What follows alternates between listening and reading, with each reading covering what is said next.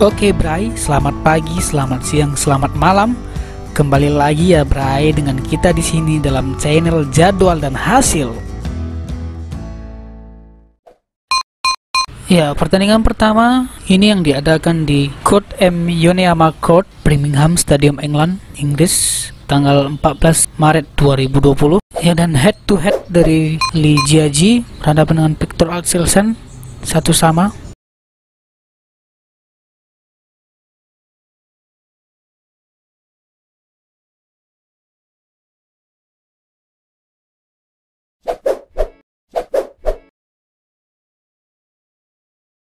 Di set pertama, Lei Jijia unggul dengan skor 21-17 atas Victor Excelsen dan di set kedua pertandingan begitu seru dan sengit sehingga sangat menegangkan. Akhirnya Victor Axelsen berhasil unggul dengan skor 21-13 dan pertandingan pun dipaksa dilanjutkan dengan rubber game.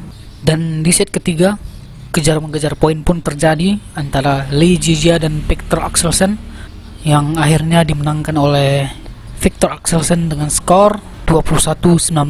Dengan demikian, Victor Axelsen melaju ke final All England Open 2020.